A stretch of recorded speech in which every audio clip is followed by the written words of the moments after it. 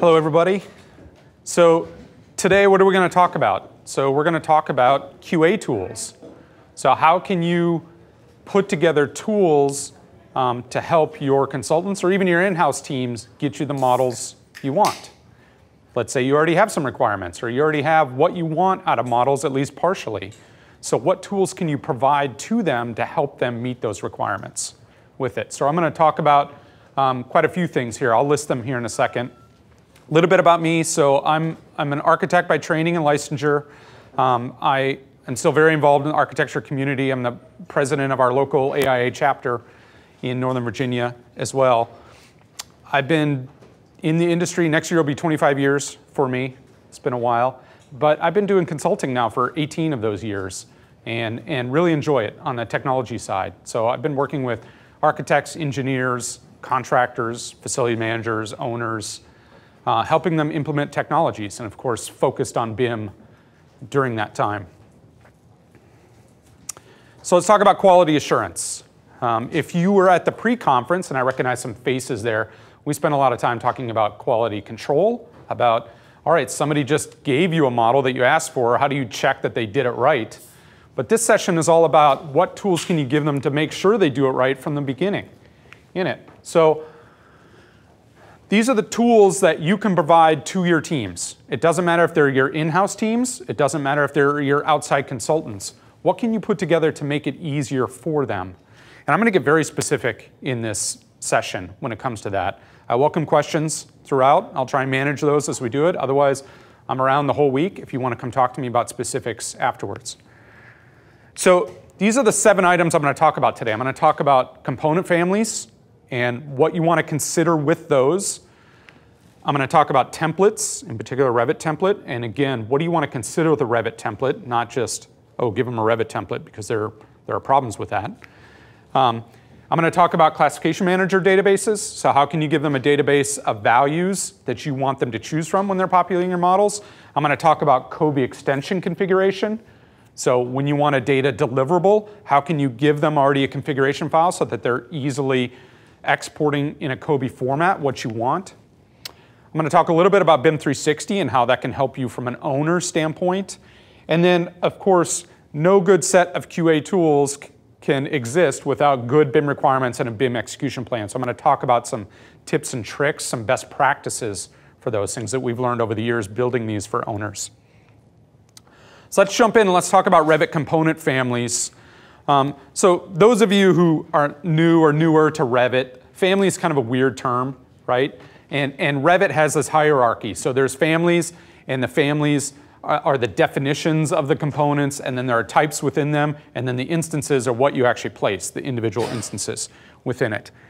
What you don't want to do as an owner is probably build this massive library of families to provide to your consultants or to your in-house teams. You want to be very selective on what you're building because they're extremely time consuming to do and things are always changing. So some recommendations for this would be um, you may have some non-manufacturer specific items that you actually want to um, provide. You know, receptacles are a perfect example. You don't go and look for a specific manufacturer receptacle, but you may have a standard, even a CAD standard of how those look on your construction documents or the plans that you receive, so you may want to provide those. Exit signs are another way. A lot of electrical symbols, people get kind of crazy about what that symbol looks like. I, I was just working with um, um, a government agency, uh, a big government agency, and they were getting a set of models back for one particular building, even though they have four buildings going on. And for whatever reason, the standard for that electrical engineer was to show the receptacle not with the two lines coming out of the wall to the circle, but the other way around, the circle touching the wall and the two lines coming out, which probably is technically more correct, but just nobody does it that way. And so there was this whole hoopla about just the symbol being turned around. So um, they provided them with, with the way that they wanted it done. The other thing you may want to focus on for your libraries are these items that are across buildings.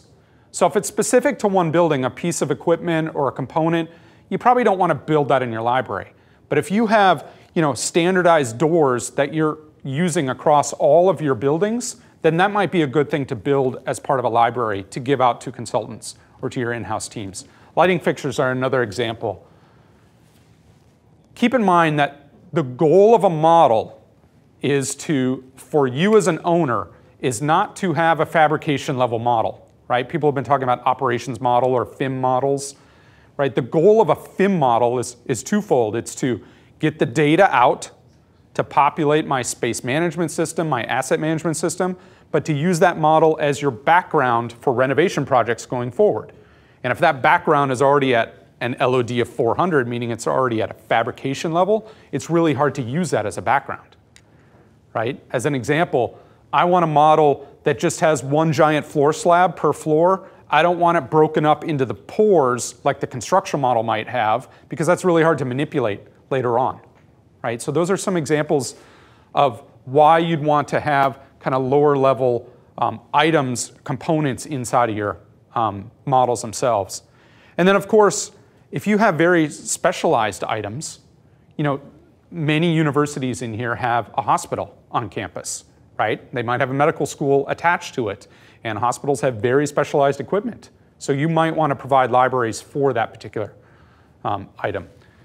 Classrooms, you know, AV equipment in classrooms, again, those are typically bought in bulk for many buildings, so it might be nice to have those as a library to give to your, to give to your consultants as well. Let's talk about a Revit template in general. So I purposely named the last part, this first session, as Revit component families. There are two kind of main categories of families. There are component families and there are system families. Anybody know the difference between them? Anybody tell me the difference? Sarah, I see your hand going up. Uh, a wall is a system family as opposed to a chair is a component family. You can manipulate the geometry of the chair in much more unique ways. You could never do that with a Revit wall. Yes, those are very good examples. The, the big difference, Rick, did you want to add? Component family can be exported and shared, system families can't. They can only reside in separate projects. Yeah, so that's the, that's the key from a behavior standpoint, is that component families can be their own individual files. Just like in AutoCAD, you can export a block to its own DWG and insert that block later on. Uh, component families work the same way in Revit. They are .rfa extensions, Revit families, and you can insert them in any project. But a system family, like a wall, cannot exist as its own separate file. It has to be in a project, which means if I want to share system families across projects, then I need a host for that. I need a project host for that. That's why a lot of people have templates, because it already has that stuff in it. Um, so a, a template can hold lots of things. So first off, a Revit template can hold settings that you may um, want to use. And think again from a CAD standards perspective. You know, we always think about Revit um, models as focused on the items that are actually going to be built. But that database, that Revit database, has other things in it to keep that database going, including things to be able to export it to CAD files, right? So fill patterns, line weights, um, line styles, object styles, these are all things that are unique to a Revit database. But it's important that you, as an owner, have standards for those things so that as people are making models, all your models are the same way and can be utilized the same way. This is a little foreshadowing to later on, but I recommend everybody in their BIM requirements actually have a section on model standards, which is what this stuff would be. Most people just have it for built elements. Um, views and organization. How many of you have received a Revit model and there were 1,200 views in it, and you have no idea which view to open up just to look at a floor plan? Right? Everyone. Because the architect just loves to throw views in there, and they have everybody's initials on them, and they're all organized weird, and you don't know what's happening with them. The good news is, is that views don't hold any model geometry, meaning if I delete every view in the model, I have not lost the model. I've just lost that view of that model. And the only thing that's sitting on a view is usually annotations. So I might have some tags on there, I might have some dimensions on there, but I didn't lose the information in the tags because the information is in the modeled element. I can just retag it all I want, still get that information. So often it's nice to have a template that holds what standard views you would want at the end. And again, put in your BIM requirements When you hand over a model at the end, at handover, I only want these 10 views in it. To see examples of those views, look at our template. They're sitting in there. You can see it. And they already have their view templates assigned to them. And the view template is how you tell it what to show and what not to show. There are a lot of other settings in there, but um, that's a key way to, to standardize your models as you get them. Again, keeping in mind that when I get a model, I don't want the model because it's a rendition of the construction documents. I want the model as the as-built condition that I can use as a background moving forward. So I don't need sheets in it. I don't need any of that stuff, really.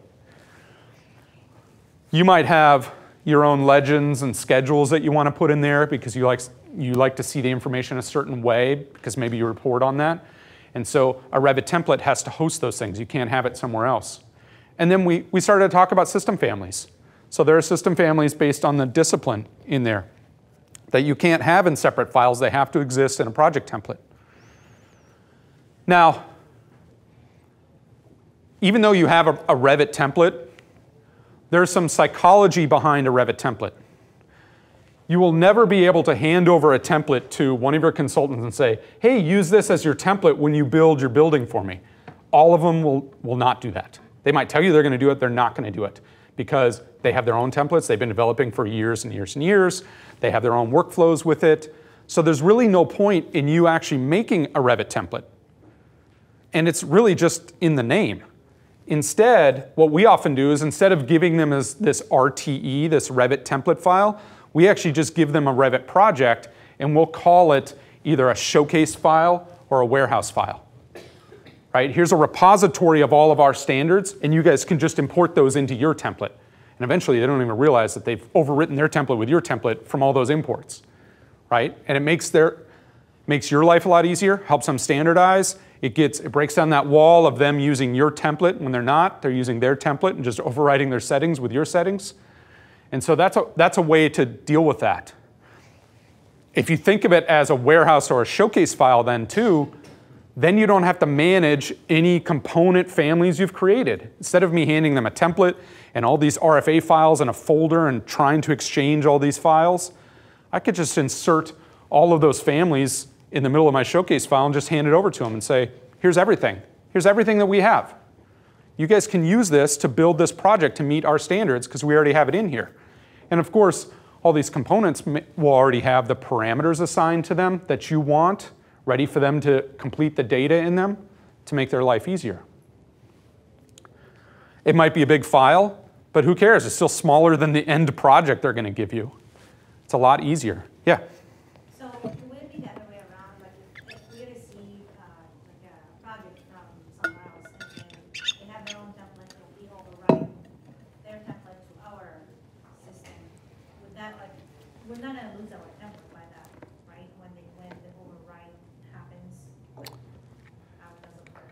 Well, you're not going to overwrite your showcase file. So if they send you a model that they've done in their template, you could certainly import all of your stuff and overwrite their settings in that model. But you want to put the onus on them, right? You don't want to be spending time overwriting our template if you've already required all of these things in your BIM requirements. So ideally, you want to hand this to them and say, you guys override it before you send it to us. So it would be like part of the guidelines for them? Exactly. Okay. Yep. I'm going to show you an example here in a little bit of what you can put in your BIM requirements to help them meet the, all the standards that you have in your showcase file or your warehouse file. Okay. Let's talk about classification managers. So um, if you, again, were here yesterday, the pre-conference, we spent a lot of time talking about the classification manager. The whole purpose of the classification manager is to provide a tool inside of Revit to give people a list of values to pick from to assign to things. Instead of letting them type it in how they want and everybody makes mistakes, then instead they can just pick from a list and say, assign that data to this, to this parameter, assign that data to this parameter. So Chuck made a really good example of this. He had a, a, a file once where one person had named it storage it was a room, and they named it storage and spelled out, spelled out storage. And then the next one did STOR period, and the other one did STRG. STOR. Okay, STOR without the period, and then the other one just called it closet, right? So same model had storage listed four different ways. If they had a, a very quick database, which is just based on an Excel file to choose from, then they all would have been the standard, standard way across the board. That's just one example, right? The, many of you use the, the FICUM or FICUM, we had a whole debate about how it's pronounced, um, database to categorize your rooms and spaces in your models. That is built into the classification manager. This is a free tool. You download it, and all of a sudden the, the FICUM FICUM database is sitting in there, and you can start assigning it to all your rooms. And more importantly, your consultants can start assigning it at the same time, right? So what a classification manager will allow you to do is to not only give them the classification systems you're using, uniformat, master format, OmniClass Table 21, 22, or whatever, you can also give them pick lists pre-built values in tables to say, when you're adding data to these elements, here's a table to choose from all the values. So you don't have to think about it. You don't have to type it in. You don't have to worry about, oh, should I do it all uppercase or lowercase? Should I add a period? Not, right? And so that's a great way to hand them an Excel file and say, here's your, here's your classification manager database, and it has tabs for all the different things that we want to standardize, and it's free software. They just plug it right in and go. Right, so some examples. Um, obviously, for the classification systems, you can use the standard ones. This comes with the software out of the box. But you may create pick lists for you know, fire ratings. Make sure I type in fire rating the same way. Space room types. I just talk about the FICUM FICUM database, but you might have your own standard way of categorizing rooms. Um, this is a big one that I think every owner should have, which is a list of equipment subcategories. So, Sarah, did you have a question real quick? My question was, um, does, is there a lot of pushback from the architecture firms for the um, formatting of these pick list options because of any inbuilt uh, parameters or, or the like? Well, you can customize that to point to whatever parameters you want, and they could customize to point whatever parameters they want. And when you're doing a data deliverable, you could point it back to your parameters. So there, there doesn't need to be any pushback. Um, if they know how to use it, they can, they can make it conform to their standards, and you can easily convert back to your standards in one click. That's a good question, though. So this whole thing of equipment subcategories, if you've used Revit before, you know that Revit has family categories. So that might be a door, that might be a wall, that might be a window, that might be mechanical equipment or electrical equipment. Revit doesn't go below that right? So a boiler, a chiller, a pump, an air handling unit are all mechanical equipment to Revit. Of course, all of your O&M systems break it down into boiler and chiller and air handling unit, VAV box and shutoff valves and all these things. So you have to tell Revit what the subcategory is and what better way to do that than to have a database of it in Excel, just a list of it in Excel that you can hand to them and say, whenever you're assigning equipment, just assign it a subcategory. Here's the list you can choose from. And that the classification manager will, will allow you to have kind of two values. It could have the, the name, air handling unit, and it can have the abbreviation AHU. And those are your standards for that. And that way when they build a schedule, it's AHU 1, 2, 3, 4, 5.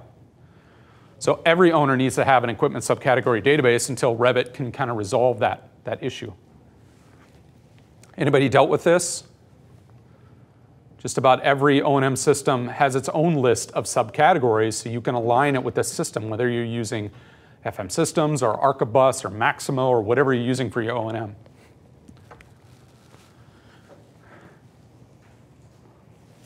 So the next one is COBie extension. So again, my, my whole purpose of, of a BIM handover at the end of design and construction to get into operations is I want a model to do three things. I want a model to use as a background for future renovation projects. So I want it at a essentially LOD 300 that I can use and move forward with it, make it my master file. I want space data pulled out of it so that I can plug that into my space management system, and many space management systems will connect directly with your Revit model. Um, a few of them will connect in a hybrid environment, do half Revit, half CAD, all in the same environment, and be able to pull from that It's really the ideal situation for moving forward from here. And then the, the third thing is I want a, a, data deliverable for my O&M system. All those pieces of equipment, all those managed assets, I want a data deliverable for that. So that can be a challenge, and, and so much so that you know, a dozen years ago, the Army Corps of Engineers said, wait, everybody hold up. The, everybody's making BIM models with all this data in it, but everybody has this O&M system. How do we get that data in a standardized way to the O&M system? And, and therein, COBie was born, right? Construction Operations Building Information Exchange. So this, all this is is a standardized data format that's usually delivered in a spreadsheet. But all of the O&M systems, the FM systems, the WebTMA, the Archibus, all of them understand this format. So if I can export it from Revit into this format, then they can all import it, and I don't have to spend a lot of time configuring that or doing data hooks, whatever. This is a short-term fix, right? COBie's a short-term fix until Revit models and O&M databases just talk with each other back and forth. We're getting much closer to that. Some systems can do that. Um, but until then, you need a data deliverable. And COBie is probably the best way to handle that with it. So what does that mean to you? That means that if you want a data deliverable in the COBie format, you install the free COBie extension for Revit, and then people can work in Revit, and when you're ready, they can export to the COBie standardized format, and you're ready to import into your O&M system. And the, the goal then is that there is no downtime between that final model and when your O&M system is up and running for your building engineers to be able to utilize. So the COBie extension actually has some settings in it, right? They, they default to what COBie wants, but COBie does not um, call out specific fields of data that you may want, right? It may not call out the voltage, or it may not call out um, the flow of a particular system into, into a pump and out of a pump, right? Those might be important fields of data that you want. COBie doesn't call that out, but you have that in your BIM requirements. Hey, I need these pieces of data so that I can manage my facility. Um, I'm going to put them in, in the model in a COBie format, and then you can configure the, the COBie extension to remember those fields of data and export them to the COBie spreadsheet for you. So there's a configuration in here in COBie um, that's called attributes, and that's what that's for. So I can go in there and say, hey, I've added these parameters to my equipment. These are the parameters of data I want. This one says um, airflow, um, circuit number, chilled water flow, right? Whatever you want as, as your pieces of data, and this is for mechanical equipment, I can configure the COBie extension to say, always export that data to the attributes tab so that when I import it, it knows exactly where to go into my O&M system. You can save these settings to an XML file, a nondescript open source XML file, and hand it out to whoever you want. Say, Here, here's our standard settings for COBie. Plug that into the COBie extension, fill in this data, and we'll export it and be ready to go at the end of handover.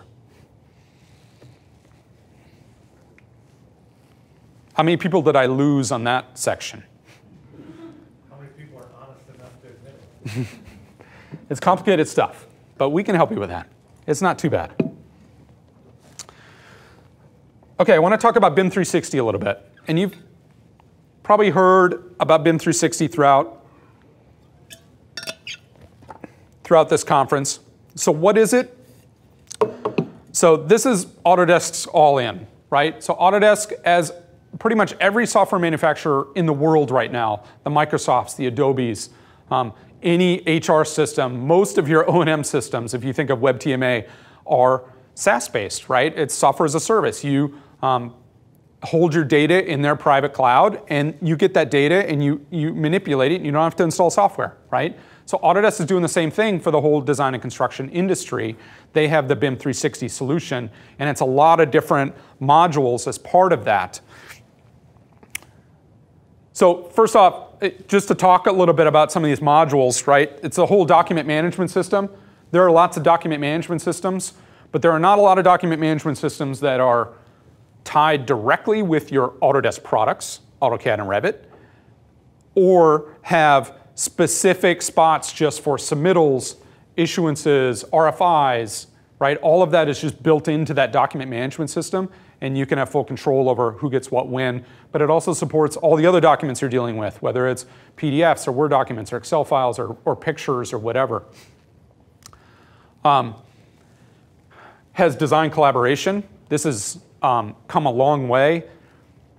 Gone are the days of design collaboration means your architects and engineers are working on the same model at the same time, and they're all fighting with each other because the electrical engineer just put in some lights and the architect decided to erase that, that ceiling and put in a different ceiling because they moved the wall half a, half a foot, right?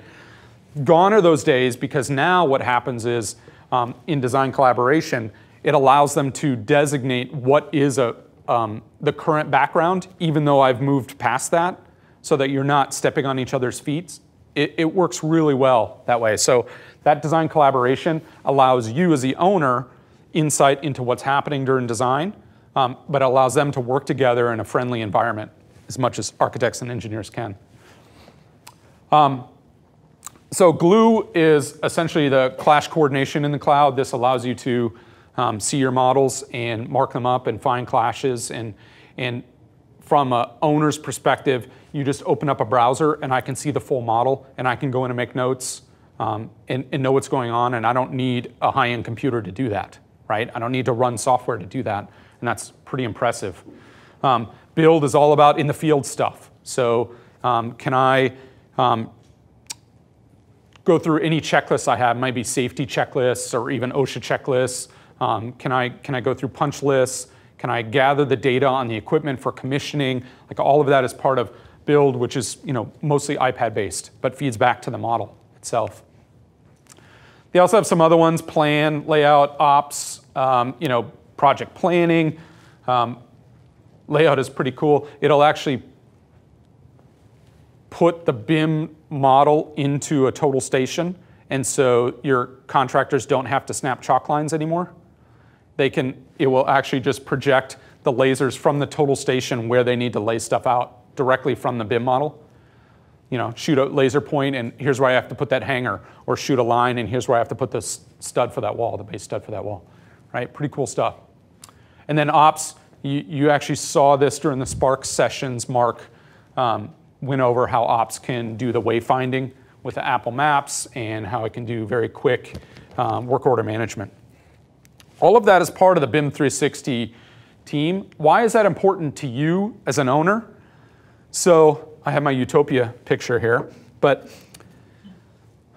so, so often I work with owners who are working on a project and the contractor says, oh, we're using XYZ software to manage this project. Here's your login. Here's how you can see everything. And you, are very happy, right? And then the next contractor's like, well, we use um, ABC software to do that. Here's your login. Here's how you handle it. And now you as a project manager have to remember how to handle three or four or five different systems to manage the different projects that you're managing, right? What if you controlled all that. What if you said, oh, no, no, no, we're not going to use XYZ or ABC. I'm going to use BIM 360. I'm going to invite you. I'm going to give you the, the, the credentials you need to handle it. But now I only have to remember one way to handle all my projects, right? I don't have to remember all these different ways. And more importantly, I have access to the data 24 7. Not, hey, let me send you an email. I wanted to look at those latest drawings, that latest model. Can you get back to me on that? And they may or may not get back to you that day or later on right? So put yourself in control as the owner. There are more and more owners doing this right now. Um, we saw, I mean, a couple years ago, Carolina Health Systems does this. They actually divvy out the BIM 360 licenses to their team so that they always have control of that data. I mean, what happens when litigation starts on a project? I'm sure many of you have been involved with that, and suddenly, hey, I want to see the data on that. Well, let me get back to you on it, right? What if you had control? over that. Um, some of you may be aware, but the, the UK government mandates BIM now, right? The US government does not, but the UK government mandates BIM on their projects. And the current state of BIM in the UK is for every project, you have to have a common data environment. You have to have a central location that houses all the data for this project that is BIM enabled. And they use that CDE term all the time. It's a great term, and really, that's what BIM 360 is. It's your common data environment so that I can have everything related to that project that I can access at any time with it. So the best QA tool is a set of clear BIM requirements, right? How many in here have a set of BIM requirements or BIM standards for their organization? A few. I see a few hands. No worries. I can help you with that. Come talk to me. Um, how do people know what to give you in a standardized way if you haven't documented it? Now, keep in mind that a, a set of BIM requirements is really meant to be a contract document. It's really meant to be an addendum to your design and construction contract. It's really meant to say, you're going to do this project for me. By the way, we're going to follow a BIM process. To know what that BIM process means and what you're going to uh, deliver to us, go see attachment F to the contract called our BIM requirements, or whatever it is. Right? It doesn't compete with your design and construction contract. It adds to it for a project where you want BIM. And the whole point of a set of BIM requirements is to define the processes you want them to follow and the deliverables you want from it. That's all it is. That can be complicated sometimes, but that's really the purpose of a BIM requirements. A BIM requirements is meant to be an overarching document to apply to all of your BIM projects, no matter what scale they're at. Even if I'm just going to do a quick renovation of a lobby of one of my buildings versus a new $300 million student center, right? It doesn't matter. Uh, any of those I could designate as BIM. Here's the requirements to follow. Not to be confused with the BIM execution plan, which I'll get to here in a second. There are some definite um, best practices for a BIM requirements document. So the first is you don't want redundancy, right? If you're already saying it in your standard design and construction contract, don't say it again in your BIM requirements. That's pretty obvious. You want to define these terms. These terms trip people up everywhere I go. As built versus as existing versus record. They are not the same things. They are different and they have different meanings. But many people lump those together, or maybe lump two of the three together. And it can be very confusing when you are using one term and your contractor thinks you mean something else. So spell them out on exactly what that means. I heard in a previous session that they're, because they're a state university, they're not allowed to call out specific authoring software, specific software to get their BIM models. So they don't do that, but everyone knows.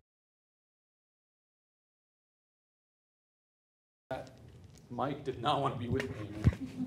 It made a run for it.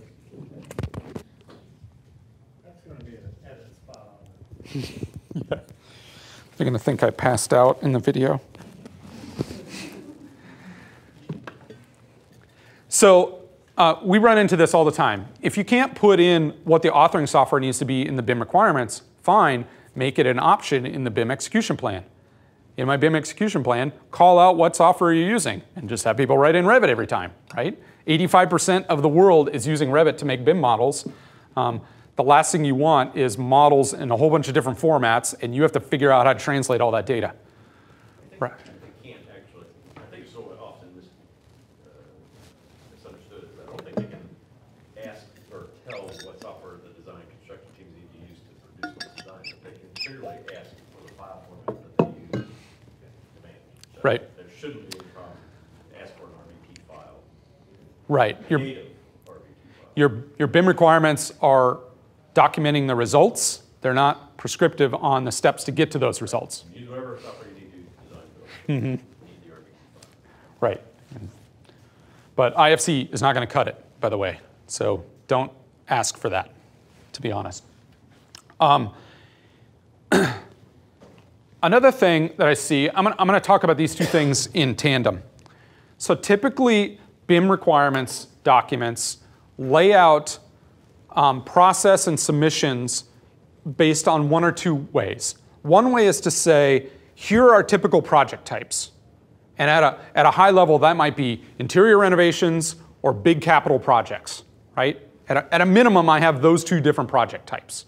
And those could vary widely. Some of you have multiple um, spectrum of those different types. It might be dependent on size or cost. It might depend on how it's getting funded. Um, if you're a state university, there, there are lots of different ways on how you control that. And, and that works just fine. The one thing I, I would say is, is to add as a project type is this whole as existing project type, meaning I'm not actually doing a design and construction project. I just have a building over here that I want you to turn into a BIM model. How are you supposed to do that? Well, here are the steps to walk through. right? And so that's a good project type to have if you're setting up your BIM requirements to match your different projects. That way, if I'm doing a capital construction project, I might have BIM submission milestones at the end of SD, maybe halfway through DD, the end of DD, maybe three times through CD, and then at handover, right? Or whatever it is. And those are your milestones. And each milestone you'll say, well, at this milestone, I expect a model at this LOD in general, but look at our BEP for specific items. And at this milestone, maybe I want a, a, a COBie drop really quick just to see that you guys are on track. That's not a final one. So those are the types of things that you would see as your submissions, and, and that works really well. So if you're gonna do that, do an as existing project type. Now the other way to do this is just through milestones.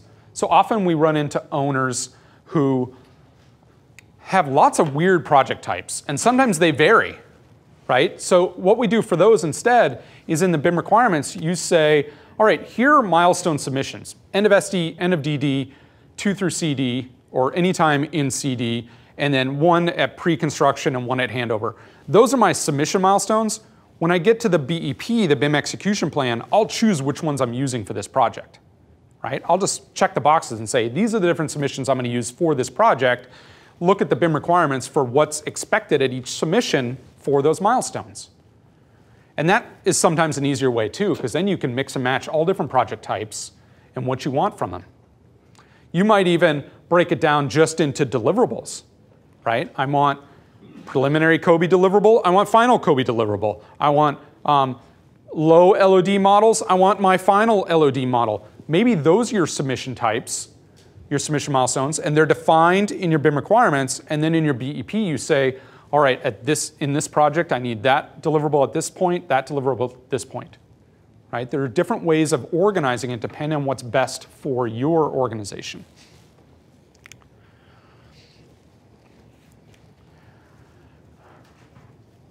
I mentioned it before, this first bullet point. I, I never see this. Um, we put them in our BIM requirements every time, is modeling standards, right? Think of these as CAD standards. You want that model in a certain format and you want it to, to follow the standards that you have, so put it in your BIM requirements. Don't just call out, oh, I want the equipment done this way and the doors and windows done this way. I need line styles done this way. I need the browser organization done this way. I expect these view templates in it right? Go get my showcase file to get all those standards. Just follow what's in the showcase file, right? That's an easier way to do that. In fact, often what we'll do is for modeling standards is we'll actually use a modified LOD system. Instead of LOD 100, 200, 300, 400, for modeling standards, we just use two variables. We use interim and final. So interim is throughout the project, uh, I want you, whenever you're delivering models throughout the project till final handover, it can, you can do all this stuff. So for an example, phases, right? I can, I can assign phases in a Revit model. Maybe it's phase one, two, three, four. Maybe it's just existing and new construction, whatever it is. I can have multiple phases at interim submissions, but at final submission, you better set everything to be as existing, right? There's no more new construction, you're done. So hand me the model with everything set to that. Design options are another example. I might have all these design options as I'm moving through it, but at final submission, you better um, promote all of those to what the final one was and get rid of anything that you, we didn't choose as a design option. I'll show you an example here in a second. I'll show you an example right now. Why not? Um, so here's a sample BIM requirements document let me see here. Naming conventions, settings, project location. I was going to go look at.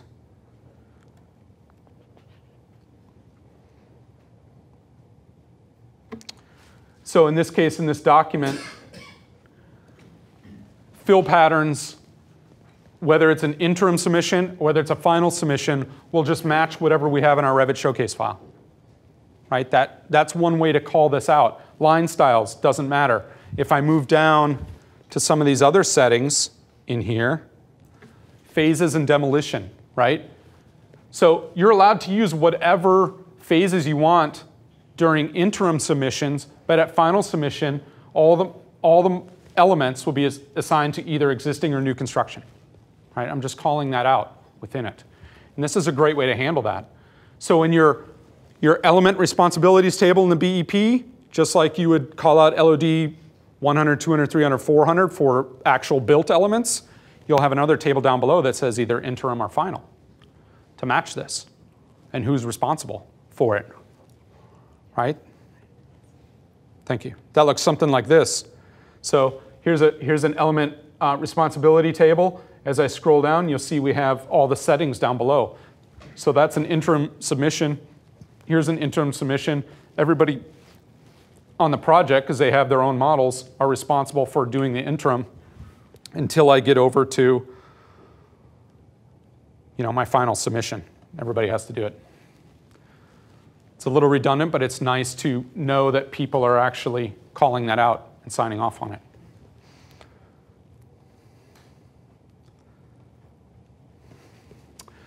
The other thing that's really good to have in a BIM requirements is a um, uh, essentially your model diagram, what you expect the models to do. So through design and construction into operations, what do those models look like? Where do they go? This is a particular diagram, doesn't have to be your diagram, um, but certainly this is something you want to call out so that you know who, who's doing what when, where the models start from and go to.